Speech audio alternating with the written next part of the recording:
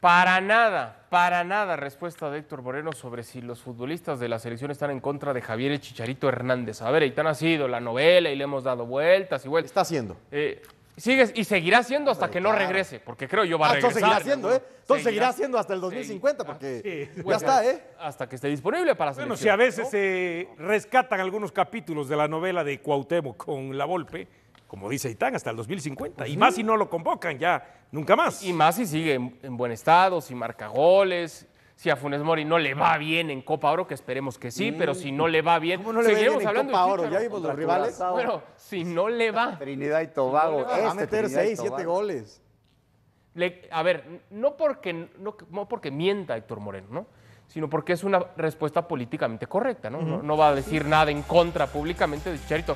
Pero le creemos en que no hay nada en contra de Hernández por parte de los jugadores. Eh, yo le puedo creer eso, pero también puedo creer que prefieran que no esté. Y eso no lo dicen. No estoy asegurándolo, pero a mí me preguntan. ¿cómo te cae Adal Franco? Y te saludé de, buena onda, tu dar, picante. y, y yo sé que te caigo muy ¿Estás de mal. acuerdo? no? Eh, en la interna. En los En cortes interna, se pero no nos bien. hablamos, entonces. Claro. Y además creo que es no tan eh, privado que hubo etapas en anteriores Copa Oro en donde sí hubo una incomodidad por algunas circunstancias que se presentaron con Javier Hernández. Y en mundiales. Bueno, y entonces, pues es, es natural que probablemente no haya del todo la comodidad con todos los jugadores. Ahora, no es lo mismo que seas el capitán a que seas un chico que está recibiendo la primera oportunidad. ¿no? Me imagino que la opinión de uno pesa más que del otro. Yo soy de los que pienso que es políticamente correcto, no puede decir alguna otra eh, Sí cosa. puede, no quiere. Pero también, claro, pero también considero que eh, cuando en el vestidor el técnico pueda preguntar a quién prefieren, a Javier o a Funes Mori, y el grupo dice Funes Mori, no es que estén descartando completamente a Javier, simplemente hay una preferencia mayor sobre Funes Mori en este momento, en este momento. Ahora, hay un punto importante y lo decía el otro día eh, Claudio Suárez, ¿no? Este, porque, y, y- y quizá no se ha abordado, eh, por lo menos vimos que el, el grupo arropó bien a Funes Mori. Pero Claudio Suárez, que también le tocaron algunos que otros naturalizados, dijo, este, sí hubo naturalizados que llegaron y se sintieron incómodos. A ver, pero Sí. Entonces, ustedes ese- no creen Ese punto puede con pasar. la experiencia del Tata Martino, que esto lo habló con los capitanes. Está Ah, por no, su- no, no. está Claro, súper claro. conversado con los líderes del vestidor.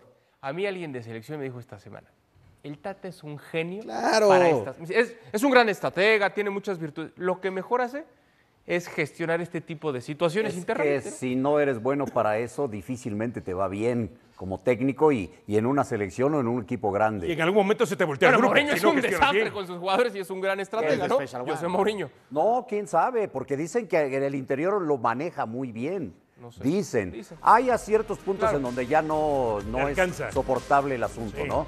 Aquí yo sí creo que eh, de preferir, pues no lo prefieren, ¿no? Al chicharito. Por eso no está. O sea, si te preguntan Exacto. uno u otro, pues te van a decir el otro. No es que estén en contra, pero tampoco están a favor, ¿no? Pero es que no, es, no a fuerza es uno u otro, pueden ser los dos. Y, y No, más, pero, pero, o sea, está muy claro. Es que evidente, no es- además. Que, que no es lo bien quieren visto, convocar no y ya es- está. O No, sea, es que eso lo hace le más al cuento. Si No lo pueden quiere. ser los dos, si no los llevas. Claro, no lo más quiere. Eso es lo No importante. nada. Lo importante es que no está, punto. Que vaya a estar, no lo sé. Funes Mori va a hacer goles en la Copa Oro, pues sí los va a hacer, sí los va a Como hacer. lo hizo Antuna en la viajar. Copa Oro. Antuna los hizo. Ahora, para eliminatorias, a ver qué pasa. Pero a ver- Va de regreso Raúl Jiménez y qué bueno. Yo sí quiero verlo jugar. Ah, es no sé hasta qué punto, pero quiero ver. Eh, sí, pero las condiciones ya de jugar con casco. es Yo tan nunca he visto un jugador de campo jugando con casco. Eso Es tan inteligente el Tata Martino. ¿Tú crees que no pensó cuándo debutarlo? ¿Contra Claro, qué selección? claro. Ah, En- pero entonces, claro. eh, está jugando ajedrez y eso bien, es lo sí, que se sí. necesita. No, pero, pero además, digo, se da la, la- la- aceleran la naturalización, se da y está listo para la Pero- Copa Oro. Y en la Copa Oro va a hacer goles y eso va a callar mucho. ante la D de Nigeria, ¿no? De por sí Chicharito tiene mete el gol a los cuatro minutos, todo Ah, perfecto. imagínate nada más. O sea, yo, yo pregunté mucho, ¿será el récord de selección nacional? Luego ya me salieron con 1930 y en el 40. O sea, sí es el récord para una selección llegar y hacer tu gol en tres Y minutos. además, ¿no? imagínate Sí. en el momento que atraviesan todos los jugadores eh, todos los delanteros mexicanos, ¿no? Que por alguna otra situación, entre lesionados, entre los que se fueron, hoy el Tata Martino dice, tomé la mejor decisión, porque si no, ¿a quién llevaba? A la Copa Oro. Ay, Chicharito. No, pero si está lesionado. Si Bueno, se lesiona. ahorita, pero eso fue se lesionó hace No, no, no, días. sí, está bien, pero eso le juega a favor a él. Se lesionó, imagínate que lo convoque a la Copa Oro. No, y resulta que se que llame lesiona. a Javier Hernández Entonces él dice, Mira. qué bueno que convoqué a Funes Mori. Él- ah, yo iba a eso. Se le da en el momento propicio. Va a hacer goles en la Copa Oro. Si es que no se lesiona, va a hacer goles. Y luego viene la eliminatoria. Pues no van a llamar al Chicharito porque decíamos igual y en la eliminatoria. No, no.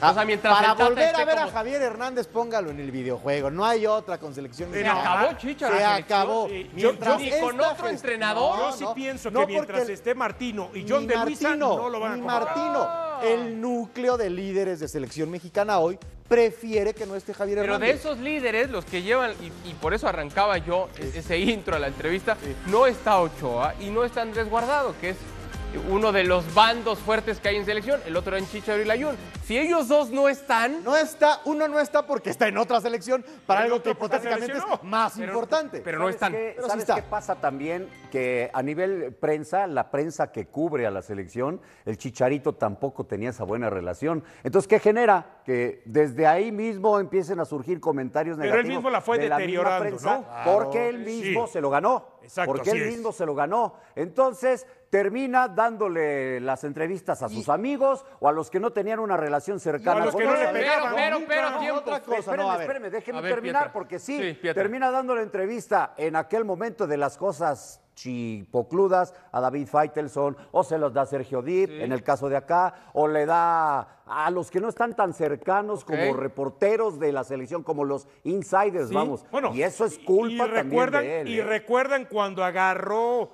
la moda, por así decirlo, o la idea de solamente voy a dar entrevistas en inglés. Y hay otra cosa. a Solamente ver, voy a hablar para Yo nada más en tengo inglés. una pregunta. Javier Hernández el lleva dos meses programa bueno. arrancamos celebrando y yo aplaudí que celebráramos. Que Bueno, no podemos estar de acuerdo siempre en la nada vida, o lo mismo lo que opinar. y-. O sea, con Macías ver, está bien, no, que no le importe la... no, y con es que el Chicharo sí, por no, pero es que grosero, problema- no nos debe importar nada más que marque goles. no es de nosotros, Adal, es de él el que Al viene. Chicharito sí le importa, ese es el problema. Y por eso veta sí y elige con quién sí, con quién Claro, no. Ahora, hay otra cosa. Deportivamente, Javier Hernández lleva dos meses buenos en tres años.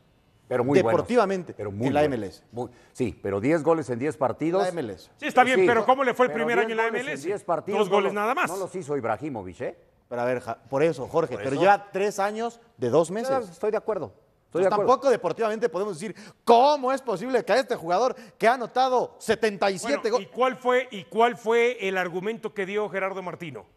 ¿Eh? Lo tengo que seguir viendo cómo progresa. Por eso que tú dices, a ver, tuviste año y medio o dos años malos. ¿Y- y tú le crees? Y, y después, La no, no Ah, ya, necesariamente. ok. ¿Y tú Pero le a él le sirve. Ya, ¿Tú le Pero crees no a Héctor importa lo Moreno? que yo le crea. Eh, es yo- el argumento que, utiliza bien, Gerardo. O sea, no lo va a decir, no va a decir lo que realmente piensa. La manera Pero le más- sirve como argumento lo que está estableciendo Aitán. La manera más sincera de entender lo que pasa entre el fuerte, el núcleo fuerte de los futbolistas es el tuit que puso Héctor Herrera. Cuando le dice a Funes Mori, no tenés rival. Es un mensaje directo al Chicharo. Y, ahora, tampoco acabó. ¿Pero a quién se refirió? A ver, A, a Funes Mori dice, no tienes rival, así como diciendo el puesto es ver, tuyo, se acabó, eso, no hay nadie se más. refirió al que es una falta de respeto para el propio Pulido que está ahí, ¿Al ¿no? equipo que iba a enfrentar o a.? Abierto. Y el Claro. mensaje fue del capitán, ¿eh? Claro. Capitán. Claro. tú estuviste muy cerca de selección mexicana. Esto de que haya grupos de poder entre jugadores Es tampoco normal. es nuevo. No, es normal. Tampoco No, es pues es nuevo. normal. O sea, en cualquier tampoco deporte, en casi cualquier... de toda la vida. Claro. Entonces, chamba, en y volverá a suceder cuando deportivamente los guardados, los Ochoa, terminen su etapa en selección nacional. Como la. Volpe, los guardados, los Ochoa, ¿no?